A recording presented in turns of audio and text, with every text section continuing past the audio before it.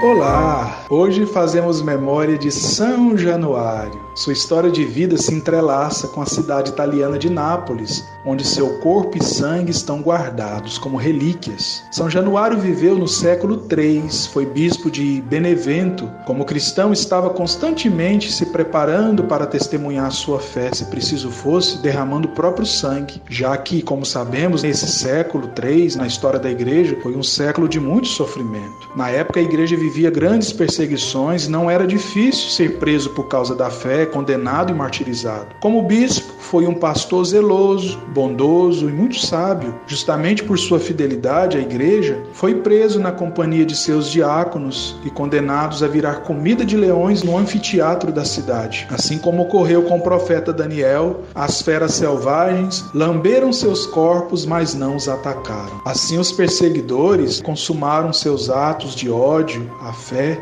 cortando sua cabeça a golpes de espada. Tudo ocorrido no ano 305.